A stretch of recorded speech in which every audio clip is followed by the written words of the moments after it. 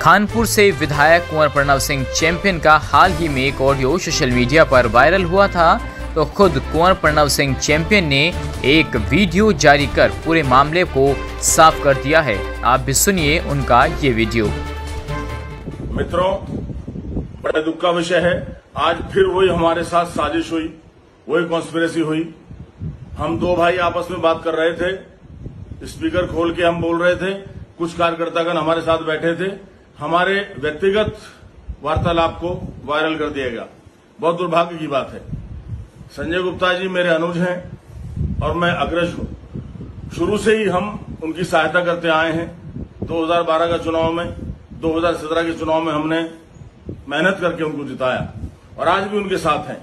आपस में परिवार है, थोड़ी बहुत बात हो जाती है, लेकिन वो बात पब्लिक नहीं होनी चाहिए थी, हमारी प्राइवेट बात थी। मुझे इस बात का खेद है और मैं चाहूँगा कि जो भी मित्र इसको सुन रहे हैं, वो इसको गलत तरह से ना लें। भाई संजय गुप्ता जी का मान, सम्मान मेरे दिल में वही है।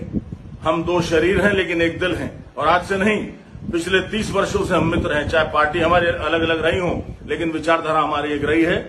मैं अपने अनुज संजय गुप्ता भाई को आज के कार्यक्रम के लिए अग्रिम शुभकामनाएँ देता हूँ, माननीय मुख्यमंत्री जी कार्यक्रम के लिए।